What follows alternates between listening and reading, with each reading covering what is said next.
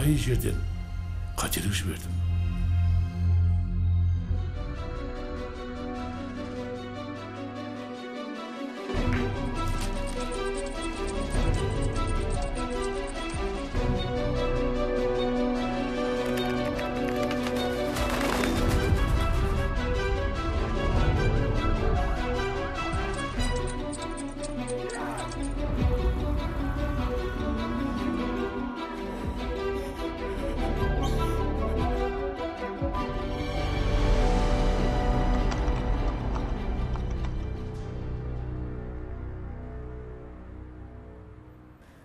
тереңірек дем алыңыз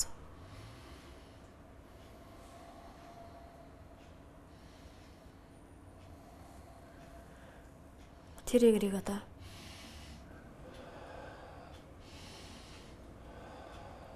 Жай демала беріңіз.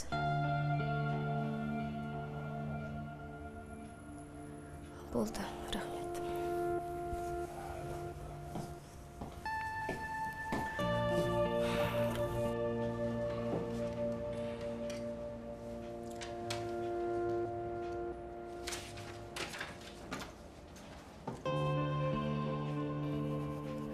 Ата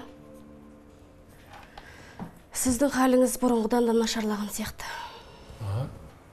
Мен сізге біраз уақыт күтіңіз деп едім. Сіз мені тыңдамаған сияқтысыз. Неге? Берген дәрі дәрмегіңді ішіп жатырмын. Сізге көп ашулануға болмайды ата.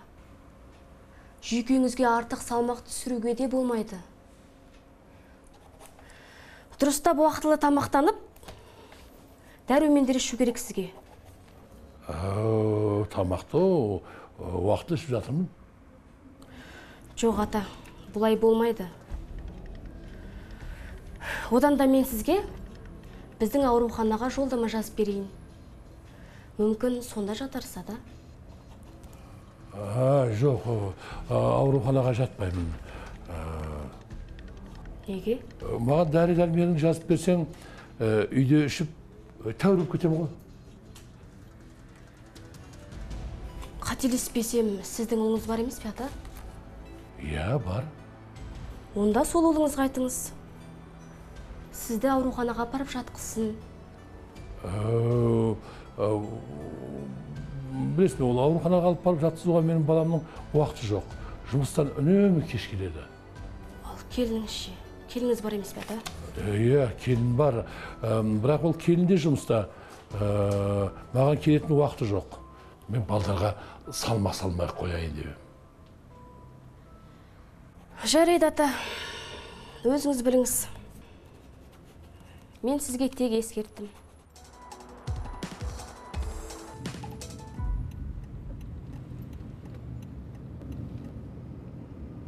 Дәрігер не деді? Не деуші еді тағы да ауруханаға жат деді сіз қызықсыз әке ауруханаға жат десе жата бересіз бе біз неге ойламайсыз ертең сізге ауруханаға баратын адам жоқ мен бара алмаймын. Гүлзат болса жұмыста. Әйгерім сабақта ұбт ға дайындалу керек. Мен сол жағын ойластырып ауруханаға жатудан бас тарттым. Дәрі дәрмекті үйде қабылдайын дедім. Сол дәріден қайран жоқ. Қып қызыл шығын. Бүкіл тапқан таянғанның бәрін сіздің дәріңізге жұмсап жүрмін. Талғат ау мен осы ауруды құдайдан тілеп алды дейсің бе? Жарайды қойыңызшы. Иә. Сендерге тым салмақ салып жібердім ау балам. Осы мені қашанға бала көресіз? А? Өйтпе бүйтпе деп ақыл айтудан шаршамайсыз жынымды келтіріп әр ісіме араласа бересіз. Мен бір үйдің отағасымын. Мен үшін сен әр уақытта бала болып қаласың. Мен емес тіпті гүлзатты да шаршаттыңыз. Жұмыстан келе сала сіздің тамағыңызды дайындайды кіріңізді жуып береді. Сізді балаша мәпелейді де жүреді. Әйгерім туралы ойлауға мұршасы жоқ. Иә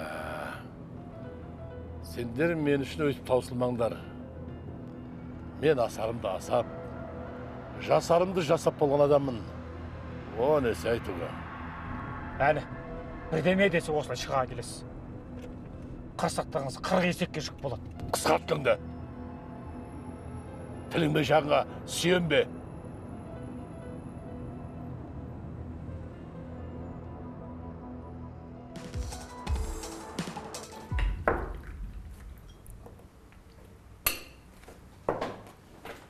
рахмет. Талғат жұмысың қалай? Жаман емес. Бүгін үлкен бастық келіп кетті. Жиналыс жасап біздің бөлімшені мақтап кетті. Бастығымыз мәз. Мақтағанды кім жек көрсін?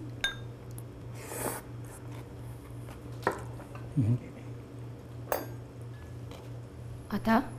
Неге тамақ ішпей отырсыз? Ә, неге ішіп отырмын балам? А айтпақшы ата бүгін дәрігерге барам деген едіңіз. Бардыңыз ба? А бардым қызым. Не деді? Әй, тағы да бір талай дәрі жазып берді. Тағы да сол баяғы қымбат дәрілерді жазып берген шығар.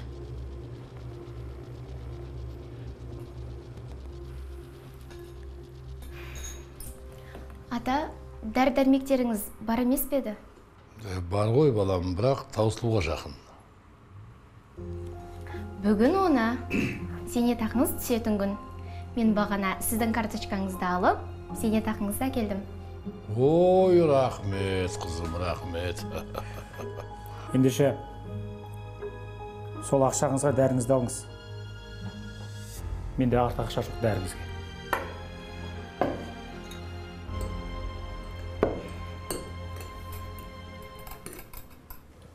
Талғатжан мен сенен ақша сұрап отқан жоқпын. Өз зейнетақым өзіме жетеді. Әйгерім ертең сабақтан қайтарда атаңның бүкіл дәрілерін ал. Жарайды. Жарайды мен болдым. Шаршап кеттім демаламын барып. Жүріңіз ата. Мен сізді бөлмеңізге апарайын. Иә ой рахмет балам ойбай әйгерім атаң өзі барады. Сен маған ыдыс жууға көмектес қазір анашым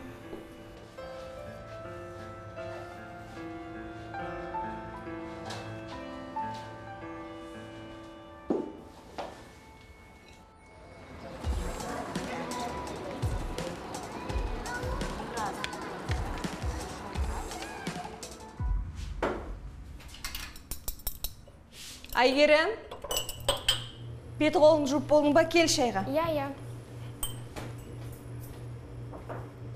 Әкем кетіп қалған ба? Әкең бір кесе шайды ішер ішпестен асығып кетті. Мен де асығыспын жұмысқа кешігем. Атам ше? Атаң шай ішпеймін деді. Неге бір жер ауырып жатқан жоқ па екен? Әйгерім атаңның ауырмайтын жері жоқ қой. Қайтесің оны? Шайыңды іш. Қайткені нес сонда атам бізбен отырып шай ішпей ме? Осы үйде өзі қалады ғой кейін. Жарайды онда мен атам қасына кетпеймін әйгерім отыр шайыңды іш сабағыңа кешігесің ғой мен бірінші сабаққа бармаймын.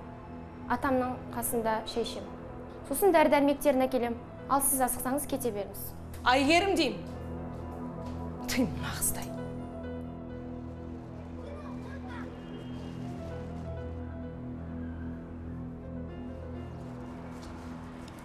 амансың ба бәке о айғаным сенсің бе Ә, қайдан келесің ой ана дүкенге барып анау мынау бірдекелерді алып келе жатырмын ғой иә бір жерің ауырып жүр ма әй баяғы қан қысымы да кейінгі кезде күрт көтеріліп кететін болып жүр бәке қан қысымын байқамасаң болмайды дәрі ішіп жүрсің бе иә ішіп жүрмін әлгінде әйгерімге тағы дәрі алдырдым. Мына күн ыстығында көшеге жалғыз шығып жүрме? Ана немереңді ертіп ал қасыңа. Көшеде бір жерде құлап қаларсың. Қайран менің кең пейіл көршім ай. Мына менің қамымды сен ойламасаң кім ойлайды? Мәрзия балаларынан гөрі сенің қамыңды көп ойлаушы еді. Иә. Мен олай бұлай болып кетсем шалыма көз қырыңды сала жүр деуші еді. Екеуміз көп сырласушы едік қой. Иә. Міне көршіден гөрі туыс болып кеткен сияқтымыз ғой иә иә. Ай жаман ағайыннан жақсы көрші артық деген сөз бар емес пе? Әрине дұрыс айтасың. Қой бәке далада көп отыруға болмайды. Иә. Ауырып қаларсың. Үйге кірейік. Иә кірсек кірейік. Де әлгі дәрі ішетін уақытым болып қалды. Қанекей Қане. бап жарайды Жүр.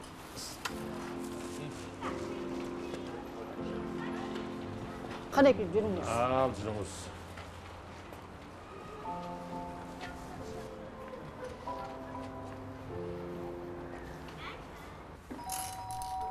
Сәлеметсіз бе? Сізге кім керек? Сәлеметсіз бе. Бексұлтан деген кісі осы үйде тұра ма? Иә осында. А, сіз кім боласыз? Мен оның ұлымын. Түсінбедім. Қандай ұлы? А, атыңыз кім? Берік. Атамның атамның ондай ұлы жоқ. Мүмкін сіз шатастырып келіп тұрған шығарсыз? Жоқ. Мен бексұлтан мейірбековті іздеп келіп отырмын. Ол кісі қазір үйде ма кіріңіз атам ана бөлмеде. Ата сізге мына кісі келіп тұр. Ассалаумағалейкум. Уағалейкумассалам. Отыр балам.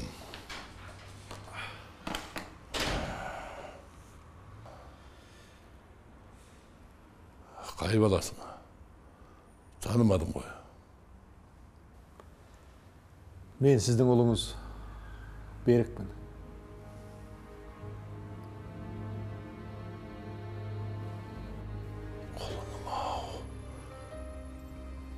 Құлыным ау бұл сенбісің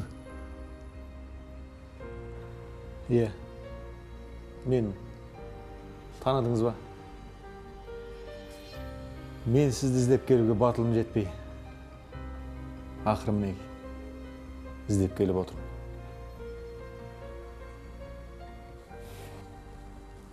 балам ау балам ау сен мені іздеп келдің бе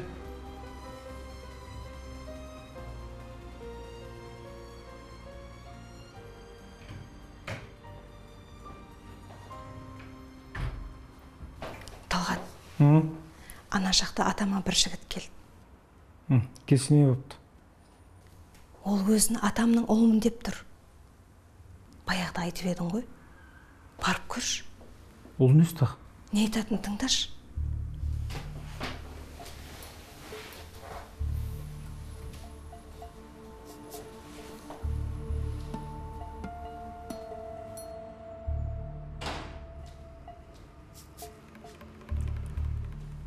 Әке бұл кісі кім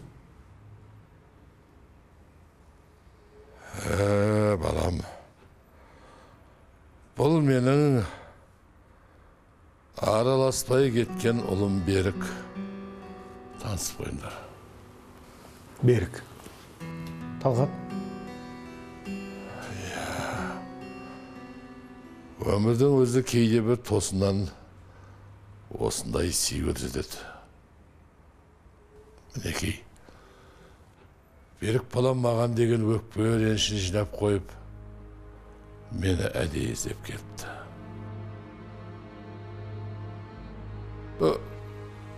не болды ойбай әке мына кісіге не болды әке әке гүлзат гүлзат әке не болды ата гүлзат тез жерде жәрдем шақыр бол бол бол әке әке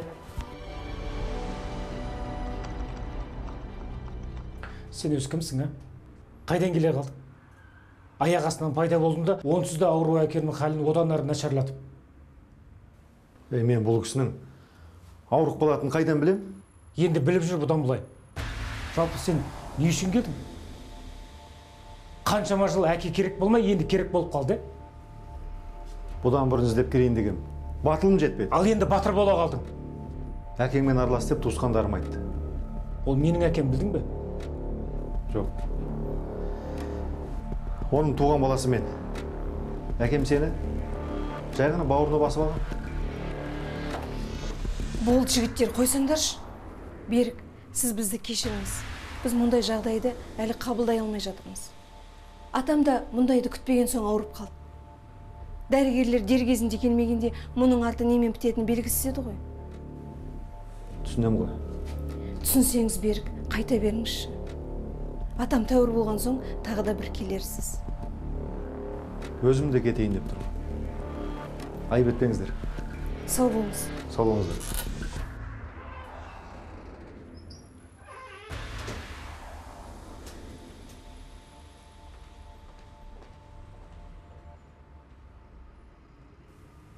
Талғат. Талғат. Ұйықтамайсың ба? Мынандай жаңалықтан кейін қайтып ұйықтайсың ана жігітті айтам да? Не оймен келді екен перзенттік парызын өтегісі келген шығар қайдам оның ойы бөтен қандай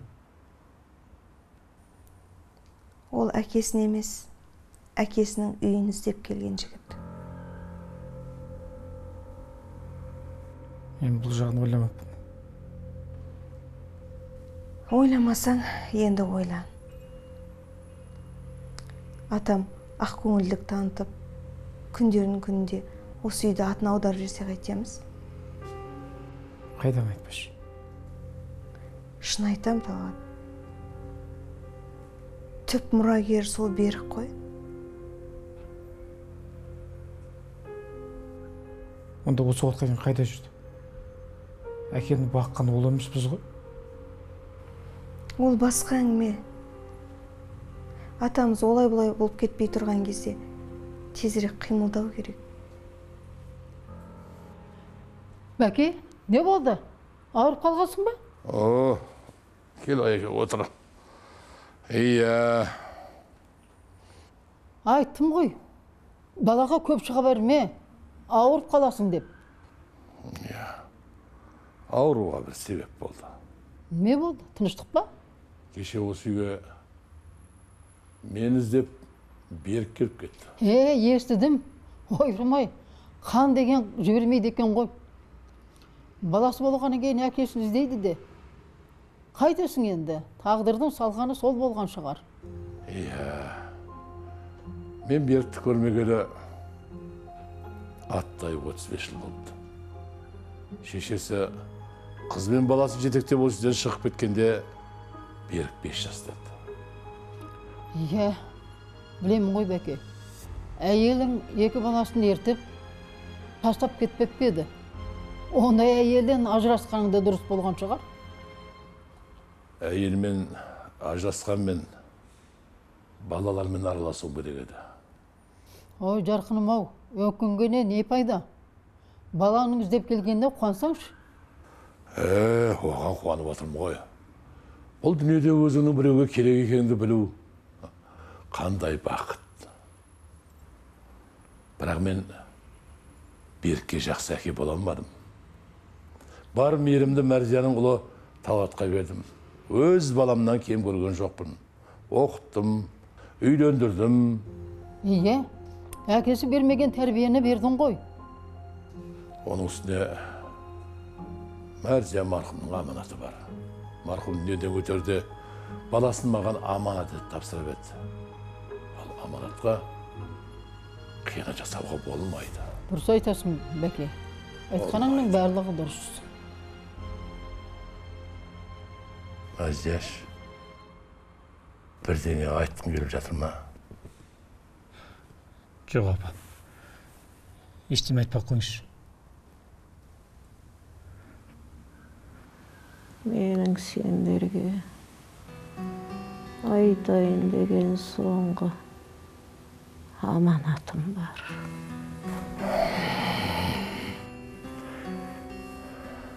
мәрзияш айта бер құлағым сенде бек сұлтан сен әке орында ұлыма әке болдың. Мен өлген соң талғат үйден қуып жіберуші болма араларың ажырамасын. Мәрзия шоу оны маған несін айтып отырсың? Мен талғатты баламнан артық жақсы көремін ғой талғат саған да әкеңді аманат қыламын жағдайын жаса ренжітпе әкеңді апа сөз беремін әкеме қолқанат боламын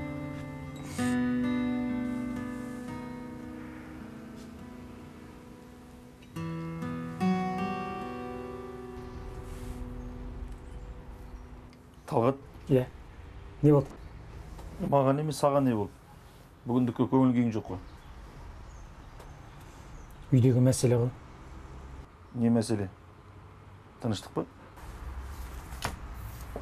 Өгей әкемнің ұлы келіп кетті қу жер рас па? Иә рас. Төбеден жай түскендей болды. Не дейді ол? Оған не керек екен? Аяқ асты әке керек болып қалып па? Соған әкесінен гөрі әкесінің үйі керек сияқты.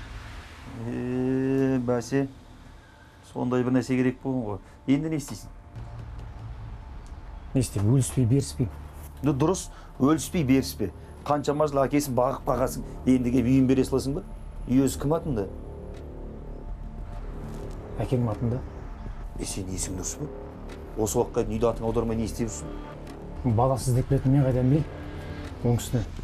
Әкем де соғып жүріп алды ғой сенен тездетіп іске кіріс әлі де кеш емес әйтпесе ертең бала шағаңмен бірге далада қаласың қойшы сен қара аспан түндір үстінде жүрсің е досым ау мен саған жаным ашығаннан кейін айтып тұрмын одан да сен әкеңмен жақсылап сөйлес үйді атыңа аударуға көндір. Ана аяқ астынан пайда болған бақталасыңның мұрнын бет қыл да екінші үйіңе жоламайтындай ет. Сен қызықсың талғат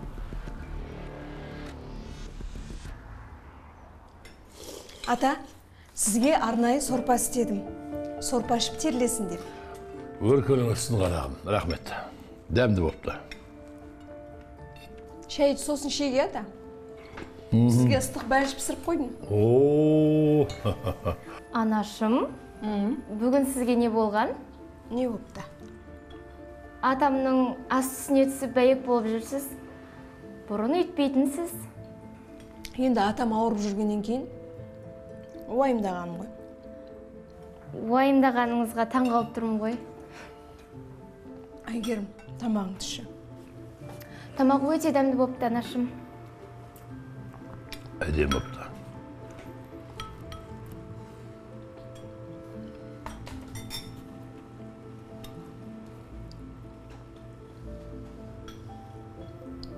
әйгерім тамағыңды ішіп болсаң сабағыңды оқи қой жарайды.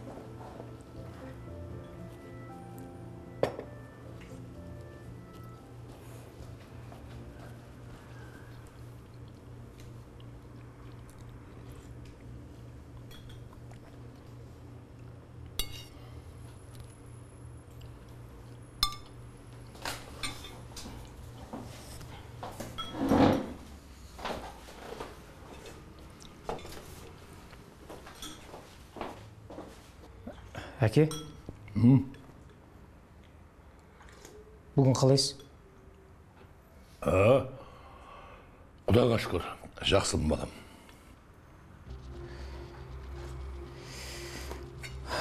Әкем сізге бірдеме айтайын деп едім. Айта ғой балам. Әкеме сізге ризамын.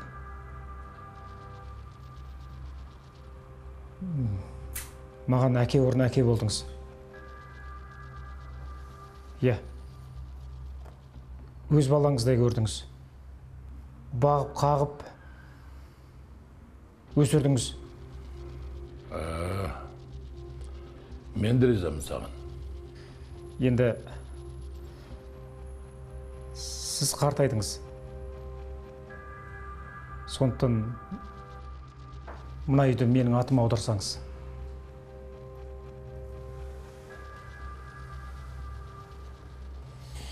Ja.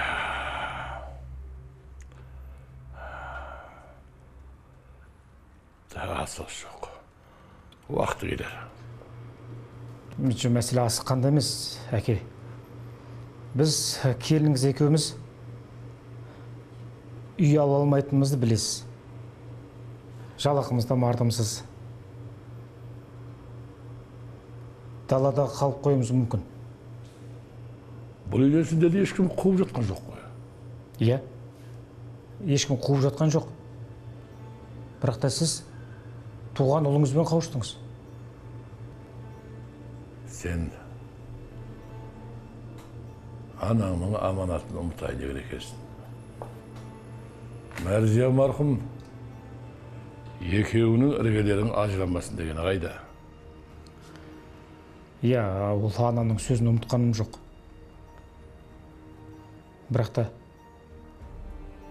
үйді біздің атымызға аударып берсеңіз болды.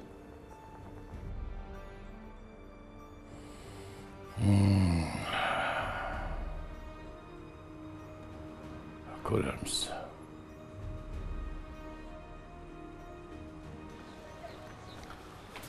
Ассалаумағалейкум ой сен тағы келдің бе? Соңғы кезде келгіштеп кеттің ғой біздің үйге. Мен әкеме келе жатыр едім иә бұл жолы неге келдің? Туған әкеме келсем. Онда тұрған не бар екен? Әке керек болса бұрын қайда қалдың. Ал? онда сенің шаруаң болмасын. Мен әкеммен бәрібір араласамын берік мен саған араласпа демеймін. Аралас. Бірақ та сенің көздегенің басқа нәрсе. Соны неге ашып айтпайсың? Нені айтасың сен? Сенің көздегенің әкенің пәтері ғой. Солай ма? Иә солай. Бұл пәтер білсең заң бойынша маған тиесілі заң бойынша дейді ол адамгершілік ретінде ше әкеңді бағып баққан кім ауырғанда емдеп қиналғанда жанында болған кім мен ал сен болсаң дайнашқа тық қасып алып келіп тұрсың сен әкемді бекерден бекер бағып жатқан жоқсың мен бәрін тексеріп білдім үй әкемнің атында екен ал сен болсаң үйді атыңа аударып алғаннан кейін әкемді қуып шығайын деп тұрсың. Дұрыс па? Онда шаруаң болмасын өзім білемін. Әкемнің пәтері бәрібір менікі болады. Ей осы тұрған жеріңде мұрынды бет қойың ба? Не төбелескім келіп тұр ма? Әй бұларың не? Ұрсаң ұр. Аман тұрғанда тайып тұр бар. Талғат. Бұнымен әлі біткен жоқ. Сотта кездесеміз. Қойыңдар талғатжан бұларың не? Талғатжан ау тапа тал ұста бұларың не? Анау емес пе қайта қайта үйге келгіштеп жүрген? Ә, келсе несі бар екен? Әкесіне келмей ма? Ол әкесіне келсе мен кіммін мен де ол кісінің баласымын ғой. Талғатжан ашуыңды бас. Сабырға кел. Сен екеуің де бек сұлтанның ұлысыңдар. Одан да бауыр тапқаныңа қуанып онымен жақсы араласпайсың ба? Жоқ онымен өлсем де араласпадым сені мен дұрыс түсініп тұрмын. Сен әкеңді қызғанасың. Сен одан үлкенсің ғой. Ол сенен кіші. Сен үлкендігін танытып берікті бауырыңа басқаның дұрыс емес пе? Тағдырдың жазуы сол болса кінәсі не?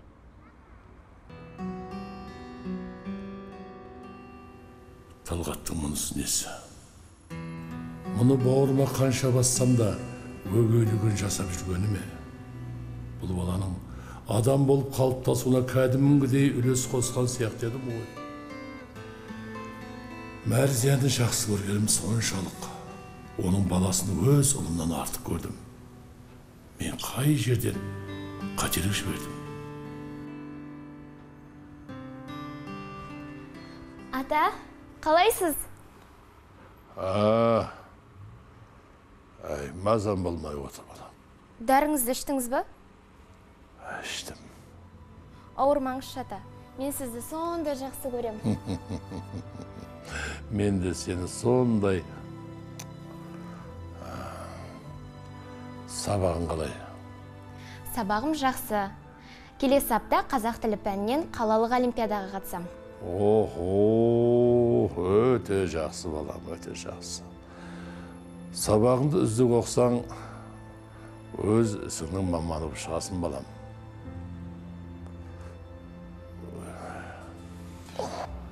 Ата? Не болды? Көзім қаратып кетті ау деймін қан қысыңыз тағы да көтерілген шығар. Жедел жәрдемге хабарлайын. Төсегіңізге жата тұрыңыз. Жақсы балам.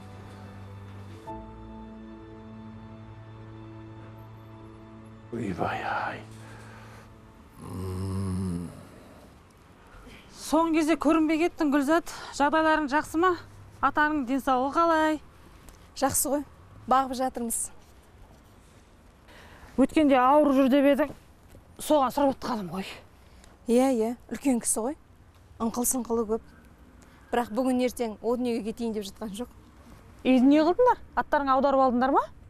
Атам келіспейді. Құжатты бермейді ғой. Е алдап сулап болса да көндірмедіңдер ма? Ертең олай былай болып кетсе аудару қиын болады. Ой саған бір қызық айтайын. А? Атамның бірінші әйелінен қалған ұл бар екен. Сол келді ғой үйге. Әкесін іздеп келген ба не? Иә. Атаң не істеді? Атам не істесін шалқасынан түсе жаздады. Біз де таң қалдық. Кім біледі? Баласының атын аударып жүрсе сол үйді мен де айтып тұрғаным сол ғой. Сендер ауыздарыңды ашып жүргенде сол баласы иеніп еніп жүрмесін. Білмеймін. Олай бола қоюы мүмкін емес. Мен ғой қарап жатқан атама. Ол үй бізге тиесілі. Е ондай болса әрекет жаса. Заңгерге бар кеңес ал жағдайын бәрін түсіндіріп бер.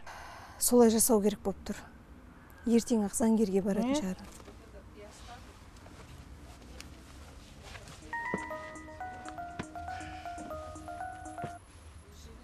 Алло? Ау қызым. Алло анашым атам тағы ауырып қалды. Мен жедел жәрдем шақырдым. Сіз келе жатырсыз ба? Қазір барам. Тез болыңызшы анашым. Атам қатты қиналып жатыр. Қазір барам таксимен жетемін дедім ғой. Не болып қалды? Мен кеттім. Атам ауырып қалыпты. Сен айтқандай олай былай болып кетіп жүрсе ойбай құдай сақтасын. Хабарласармыз иә ма? Енді мен жаңа айтқанымды ұмытпа. Иә иә жақсы. Жақсы.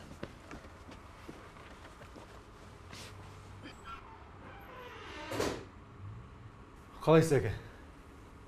Сен мұнда неге келдің? Оны мен шақырттым талатжан